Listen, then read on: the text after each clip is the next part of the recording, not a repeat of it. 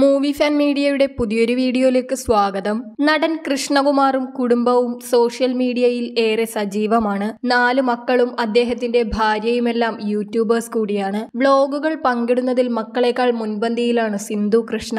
എല്ലാ വിശേഷങ്ങളും Sindhu social media വഴി പങ്കുവയ്ക്കാറുണ്ട് അതിൽ ഏറ്റവും ഒടുവിൽ സിന്ധു ആരാധകരുടെ ചോദ്യങ്ങൾക്ക് കൊടുത്ത മറുപടിയാണ് സോഷ്യൽ മീഡിയ ട്രെൻഡിംഗ് ലിസ്റ്റിൽ ഇപ്പോൾ ഇടം പിടിക്കുന്നത്. തിരഞ്ഞെടുപ്പ് തിരക്കുകളിൽ നിന്നും ഒന്ന് റിലാക്സ്ഡ് ആവാൻ കുടുംബത്തിനൊപ്പം സിന്ധു മലേഷ്യയിലാണ്. കൃഷ്ണകുമാർ തിരഞ്ഞെടുപ്പ് പ്രചാരണത്തിനെത്തിയപ്പോൾ മക്കളുമായി സിന്ധുവും മിക്ക സ്ഥലങ്ങളിലും വോട്ട് തേടിയെത്തിയിരുന്നു.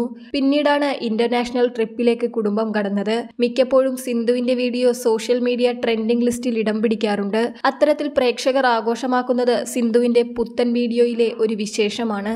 സിന്ധുവിന്റെ നാല് മക്കളിൽ രണ്ടാമത്തെ കുട്ടിയാണ് ഓസി എന്ന ചെല്ലപ്പേരിൽ അറിയപ്പെടുന്ന ദിയ കൃഷ്ണ.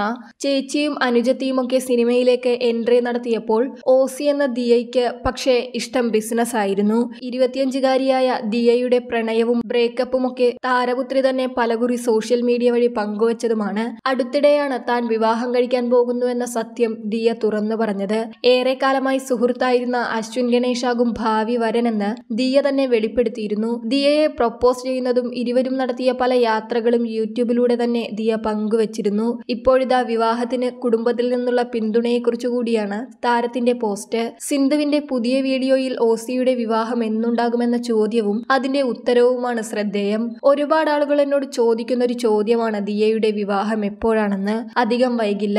സെപ്റ്റംബറോടെ അതുണ്ടാകും. ഡേറ്റും കാര്യങ്ങളുമൊക്കെ ഓസി തന്നെ പറയും. വിശേഷങ്ങളും മറ്റും എന്റെ ചാനലിലൂടെ പറയാമെന്നും സിന്ധു പറഞ്ഞു. അതേസമയം കുടുംബത്തിന്റെ പിന്തുണ ദിയയുടെ വിവാഹത്തിനുണ്ടാകില്ലേ എന്ന സംശയം ചിലർക്കെങ്കിലും ഉണ്ടായിരുന്നു. അതിനുകൂടിയുള്ള മറുപടിയാണ് ഇപ്പോൾ സിന്ധുവിന്റെ വീഡിയോ. ഒരുമിച്ച് റീൽ വീഡിയോ ചെയ്തതിലൂടെയാണ് അശ്വിനെയും ദിയയെയും പ്രേക്ഷകർ ശ്രദ്ധിച്ചു തുടങ്ങിയത്. ഇരുവരുടെയും ജോഡി പൊരുത്തത്തെ പ്രശംസിച്ചുകൊണ്ടുള്ള കമന്റുകൾ വന്നു തുടങ്ങി. ആ ഹൈപ്പിൽ നിൽക്കുമ്പോഴാണ് പ്രപ്പോസൽ വീഡിയോയ്ക്കൊപ്പം പ്രണയം പരസ്യപ്പെടുത്തി ഇരുവരും രംഗത്ത് വന്നത്. അന്നു മുതൽ ഇരുവർക്കുമൊപ്പമാണ് ആരാധകരും.